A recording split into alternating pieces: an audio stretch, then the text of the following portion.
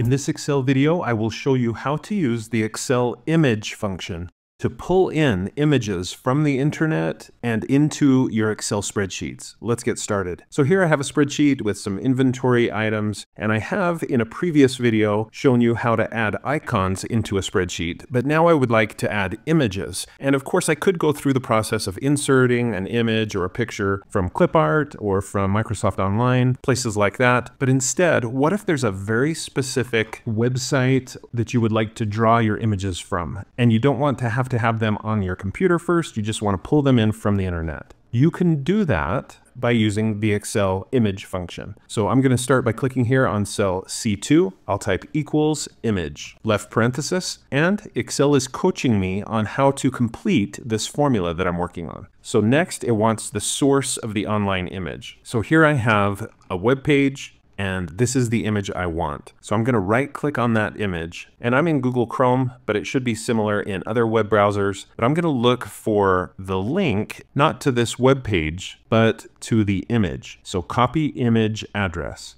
I'll click on that. And then back here in my formula, I'm going to paste in that link. And it's tempting just to paste it right in, but it's not going to work unless you put that image link inside of quotes. So I put quotation marks and then I'll paste in that address. I'm getting a warning here that I'm pasting something from the internet. It's active content, it's a link. In this case, I trust the source of it, so I'm fine. I'll just click paste everything. I'll put in my close quote, and then if I want to, I can be done with this formula. I could just put in my right parenthesis, tap enter, and be done. And let me show you what that would look like. I'll just tap enter on the keyboard. Notice it said busy, but after a second or two, that image is pulled in from the internet and into my spreadsheet. Now for that to work, you have to be online. You have to have a connection to the internet in that moment in which it's pulling the image into your spreadsheet. Now let's try it again, but this time I'm gonna show you the other options that you have as you build your formula that uses the image function. So this time I'm gonna right click on this sticky note image and I'll choose copy image address. I'll move that to the side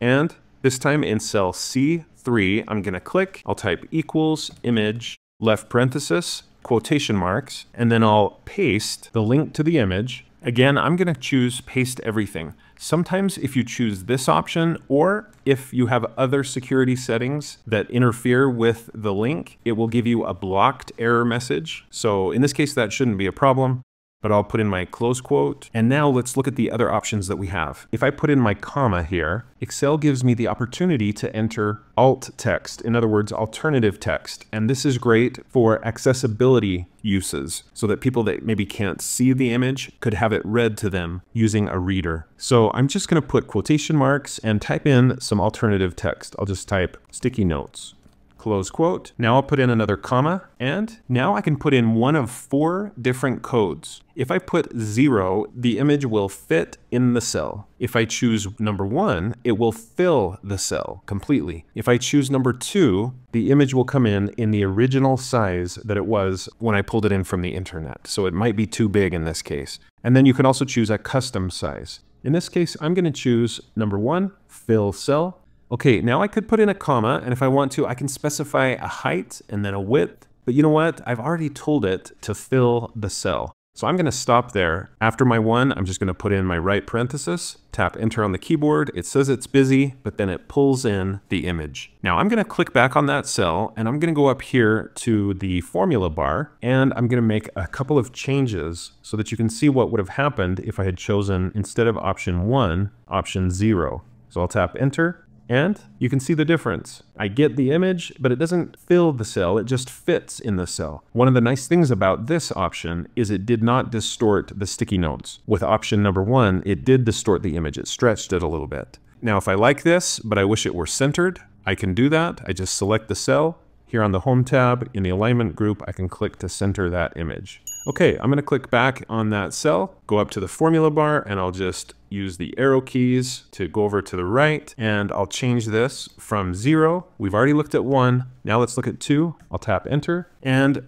I don't even see the sticky notes. Now, why is that? Why don't I see the sticky note? The reason why is because it's maintaining the original image size, and so it's so big that it's not visible in that cell. If I stretch out this cell big enough, then it does start to appear. It's still not even big enough to show that full sticky note. So I'm going to undo that by holding control and tapping Z a few times. But you can see the consequence there of using option number two, maintain the original image size. Okay, let's try our last option. Our last option is option three, and this will enable me to put in a custom size. So I'll put in a comma, and the custom size is going to be 100, comma 100. Tap enter on the keyboard and there's the result. Again, it's a bit too big, but I could change that to maybe 50 by 50 and that should fit better.